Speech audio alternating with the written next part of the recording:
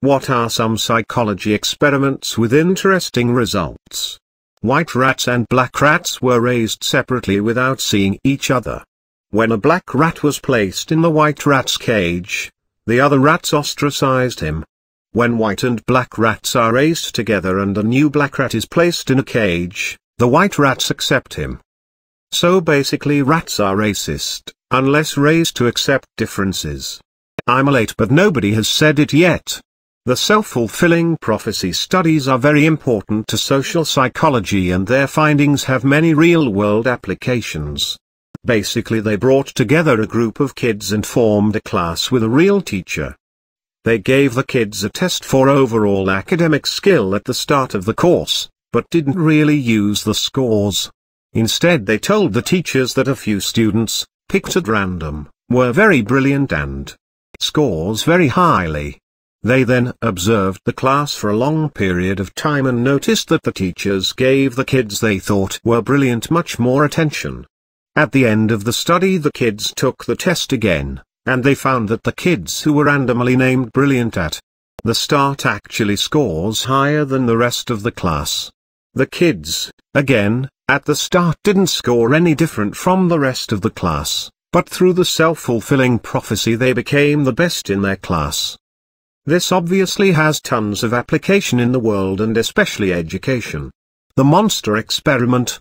Although it is horrible how they left the children with mental health issues at the end, this experiment gave very good insight to how to parent a child. On this experiment, they took groups of orphan children and separated them into three groups. One was the control, the second were told they has a lips and were doing bad, and the third was told that their speech was perfect. As the experiment went on, Group 2 began developing lisps after being berated constantly. They became shy and reserved. They were scared to speak because they didn't want to get in trouble because of their poor speaking skills. Group 3, however, had the opposite happen. They talked better, they were more willing to improve.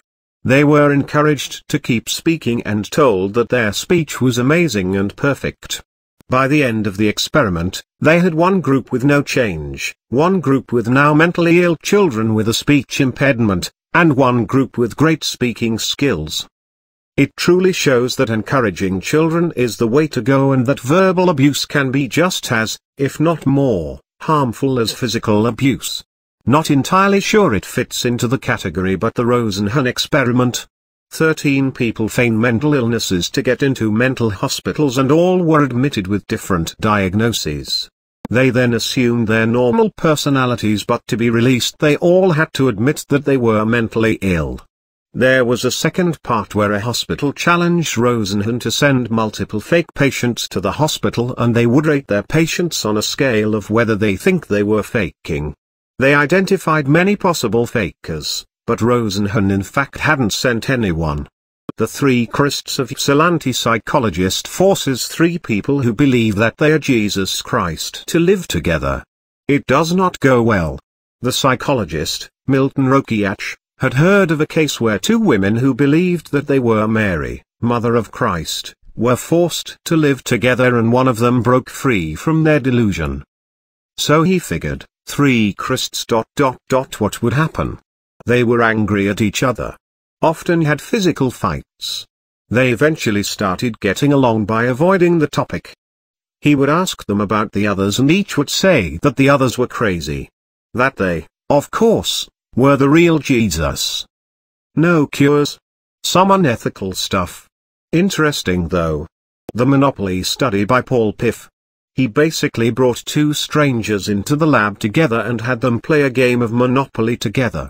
He randomly assigned one participant to start the game with twice as much money than the other and that participant also got to roll both dice to get around the board, that is, the other participant started with half the money and could only roll one dice.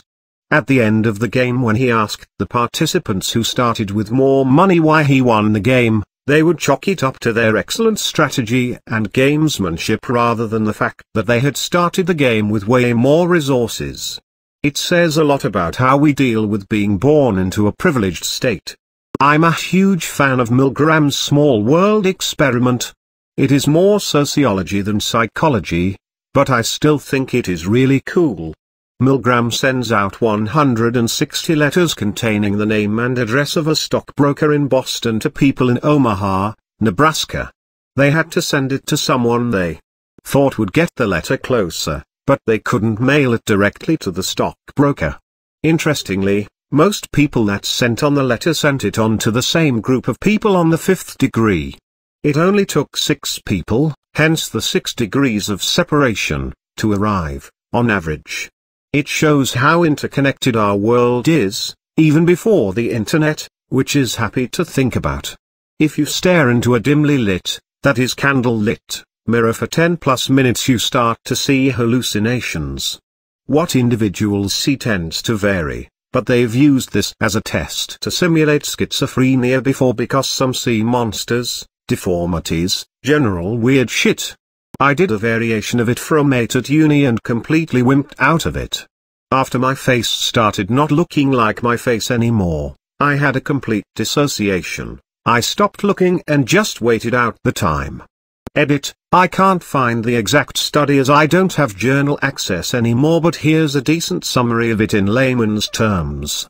Edit 2, this is a weird visual trick that your brain can play on you, but the effects can seem super real so maybe don't do this if you are susceptible to hallucinations, are a wimp with this kinda shit like me. Edit 3, thanks for the gold. And yes it is basically a scientific Bloody Mary.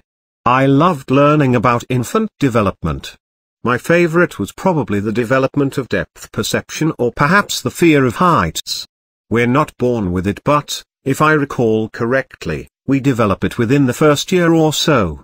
Scientists created a raised square platform, half of the floor was wood and the other glass. The actual surface of the floor, one meter or so below, was white with red polka dots. At varying intervals of age the babies would be brought in and placed on the wood end and encouraged to crawl to their moms who were standing at the glass end of their platform. In early infancy baby crawls over there without giving a shit. At some point though they stop at the point where their wood meets the glass, or plexiglass maybe, showing that they recognize the difference in height and the fear of falling. Babies' brains are pretty fucking cool. Reconsolidation, when you retrieve a memory from your long-term memory it is susceptible to being manipulated. This can lead to, to memories being totally changed from the source. This is why eyewitness accounts cannot be fully seen as true. This knowledge is also being used to help people with PTSD by changing the negative memories they have of their particular trauma. The influence of the color red in sports, judges were shown a video of a taekwondo match and awarded more points to the red competitor, versus the blue competitor. When the colors were digitally reversed, judges awarded more points to the other, now red, competitor. Edit, since there's a lot more interest than I expected, here's some more info. Red may be a signal of dominance as reddened skin is associated with higher testosterone, or possibly higher fertility in women. Wearing red may induce intrinsic psychological effects which increase dominance in addition to altering the perception of others. Researchers found that putting red leg bands on birds increased dominant behavior, as they took the lion's share of the food. For my psychology degree dissertation, I presented photos of men to be rated on a scale of friendly, 0, to threatening, 10. Men received a higher threat score if I photoshopped their t-shirt to be red. Edit 2, thank you for the gold award. There have been some experiments conducted, but the negativity effect, negativity bias is really sad to me. It basically says that negative things have a greater emotional and psychological toll on our health than positive, neutral things. So you got an A on a test, that's great. But you totally fail a test, and the world crumbles and it's a total disaster. A hundred things can go right and work perfectly throughout the day, but it goes totally undetected in our minds. Then someone cuts us off in traffic and we fume and rage. I learned about this theory almost three years ago and think about it all the time. Reminds me to appreciate and notice the many little things in my day that do go right. Mice were put on two sides of a wall with a door in. Only the right mouse could open the door. Slowly, they filled the left mouse's room with water and eventually when right mouse saw them in danger, they opened the door. However, mice that had previously been on the left side and were now on the right, mice who had previously been wetted, opened the door considerably faster because they knew how unpleasant it was to be in the other scenario. Basically mice have empathy. It's not that psychopaths lack empathy, but rather, they have the manual settings. A specific region of the brain lights up when people experience empathy. For most people it's an automatic, subconscious, response. But in a study where they showed emotional videos to psychopaths and non while scanning their brains, psychopaths would only light that region of the brain when specifically asked to feel for the character, while the control participants would light up automatically. I just recently heard of blind-sightedness during one of my cognitive psychology classes. Basically the area of the brain that processes what our eyes see is located at the back of the head, just where your skull starts to get smaller, towards your neck. Because of this, if you hit your head back the quite often everything will go black for a moment before sight returns again. Sometimes though, following severe trauma to this area of the brain, like after falling off a ladder onto a curb or something, a person is never able to see again. For a long time it was assumed that the eyes were somehow incapable of seeing following the trauma and that was why people were blind. However it's been shown that it is just the processing of the images that is damaged in other words your eyes are still working away, viewing images but your brain is unable to process the images so you can't see them. Some experiments looking into this have found that people with damage to this area can still navigate around things in front of them, without realizing they are doing it. So if you told someone with this damage to walk down a corridor, and you placed obstacles in their way, they wouldn't be able to see the obstacles but they could avoid bumping into them because their eyes are still able to view them and send signals to other areas of the brain to avoid knocking things. This is known as blind-sightedness. Blew My Little Mind TBH Edit, here's the Wikipedia link about it, it's a little bit science TBH but it explains a bit better what I was trying to say. Edit number 2, so I'm in the UK and it's currently 430 am. Just woke up to pee and I've been gilded? What the hell guys thank you.